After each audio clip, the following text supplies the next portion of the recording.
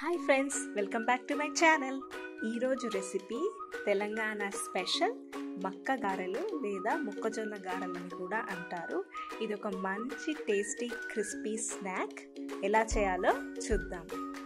Mixie జార్లో జీలకర్ర వెల్లుల్లి అల్లం పచ్చిమిరపకాయలు కొద్దిగా సాల్ట్ వేసుకొని పేస్ట్ చేసుకోవాలి. క్వాంటిటీస్ మీరు అడ్జస్ట్ చేసుకోవచ్చు. ఇది పేస్ట్ అయిన తర్వాత ఇందులో మొక్కజొన్న విత్తనాలు వేసుకొని పేస్ట్ చేసుకోవాలి. మరీ మెత్తగా కాకుండా కొంచెం బరకగా పట్టుకుంటే మనకి వడలు చాలా బాగా వస్తాయి కన్సిస్టెన్సీ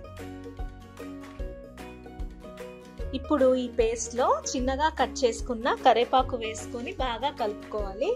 కరేపాకు వల్ల మంచి ఫ్లేవర్ వస్తుందండి ఈ వడలకి. సో కరేపాకు మాత్రం తప్పకుండా వేసుకోండి. ఇప్పుడు డీప్ ఫ్రైకి ఆయిల్ వేడి చేసుకుందాం. ఆయిల్ వేడైన తర్వాత మాత్రమే మనం ఈ మిశ్రమాన్ని చిన్న వడలలాగా ఒత్తుకొని వేసుకొని ఫ్రై చేసుకోవాలి. ఆయిల్ టెంపరేచర్ మీడియం హై ఉంటేనే మనకి వడలు బాగా వేగుతాయండి లోపల నుంచి కూడా బాగా ఉడుకుతాయి. ఈ వడలు